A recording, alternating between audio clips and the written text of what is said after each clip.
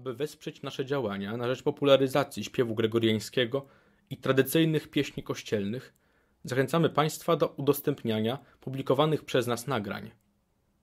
Zapraszamy także do subskrybowania naszego kanału oraz śledzenia treści publikowanych przez nas na stronie internetowej i w mediach społecznościowych.